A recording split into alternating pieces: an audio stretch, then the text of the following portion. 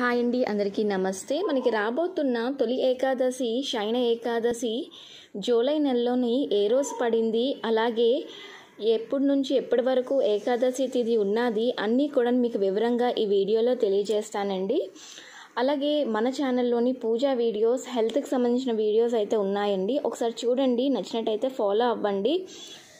అలాగే మనకి తొలి ఏకాదశి హిందువుల్లో తొలి పండగ తొలి ఏకాదశి అండి. ఈ పర్వదినంతోనే మన పండుగలన్నీ మొదలవుతాయి.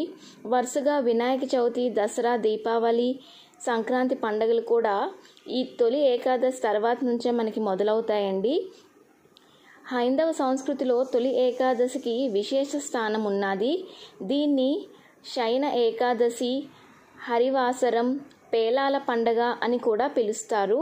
మనకి ఈ తొలి ఏకాదశి అనేది జూలై ఆషాఢ మాసంలోని వచ్చే ఏ శుద్ధ ఏకాదశినే మనం తొలి ఏకాదశిగా పిలుస్తారండి. ఒక ఏక ఒక ఏడాదిలోని ఇరవై నాలుగు ఏకాదశులు ఉంటాయి పురాణాల ప్రకారం శ్రీ మహావిష్ణువు క్షీరసాగరంలో శేషతల్పంపై నాలుగు నెలల పాటు శయనిస్తారు.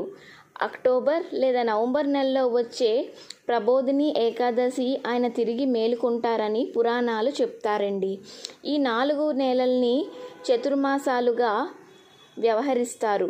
తొలి ఏకాదశి నుంచి నాలుగు నెలల పాటు చతుర్మాస దీక్షను కూడా ఆచరిస్తారు.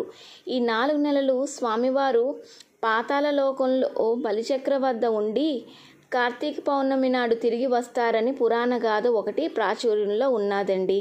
అలాగే మనకి తొలి ఏకాదశి ఎప్పుడు వస్తుంది అంటే జూలై నెలలోనొచ్చే పదో తారీఖున మనకి తొలి ఏకాదశి లేదా శయన ఏకాదశి అనేది మనం జరుపుకుంటున్నామండి. అలాగే మనకి ఏకాదశి తిథి అనేది జూలై తొమ్మిది సాయంత్రం నాలుగు గంటల ముప్పై తొమ్మిది నిమిషాలకి ప్రారంభమవుతుంది. అలాగే ఏకాదశి తిథి అనేది మనకి జూలై పది మధ్యాహ్నం రెండు గంటల పదమూడు నిమిషాల వరకు ముగుస్తుందండి. సో మనం ఏ ఏకాదశి అయినా సరే సూర్యోదయంతో జరుపుకుంటాం కాబట్టి మనం జూలై పదినే మనం పరిగణలోకి తీసుకొని తొలి ఏకాదశి అనేది జూలై పదో తారీఖున అనేది మనం జరుపుకుంటామండి. సో మనకి జూలై పదివ తారీఖున తొలి ఏకాదశి ఉంటుందండి. అలాగే మనం ఈ తొలి ఏకాదశిలోని చాలామంది ఏకాదశి తిథి రోజు మనకి ఉపవాసం ఉండి ఆ శ్రీమన్నారాయణునికి అర్చన చేసి విష్ణు సహస్రనామం పారాయణం చేయడం వల్ల విష్ణుమూర్తికి ఎంతో ప్రీతి చెందిన ఈ రోజున ఆవుల్ని వన్నిటిని పూజ చేసినట్టయితే చాలా మంచి జరుగుతుందండి. అలాగే ఈ ఏకాదశి రోజున ఉపవాసం అనేది చాలామంది చేస్తారు. అలాగే ఆ రోజంతా కూడా జాగరణ కూడా చేస్తారండి. అలాగే ఏకాదశిని మనం ముందు రోజు దశమి నుంచే మనం నియమాలన్నీ పాటిస్తూ ఏకాదశిని అనేది మనం పూజ చేసుకుంటాము. ఏకాదశి వ్రతం అనేది ఆచరిస్తామండి. సో చూసారు కదండి తొలి ఏకాదశి ఏ రోజు వస్తుందో అలాగే ఆ రోజు చేయాల్సిన విధి విధానాలు అన్నీ కూడా మీకు తెలిసాయి అని అనుకుంటున్నాను.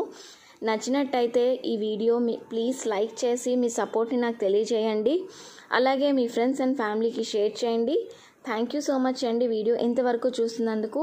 మరొక మంచి వీడియోతో నేను మీ ముందుకు వస్తాను. థ్యాంక్ యూ సో మచ్ నమస్తే అండి. బాయ్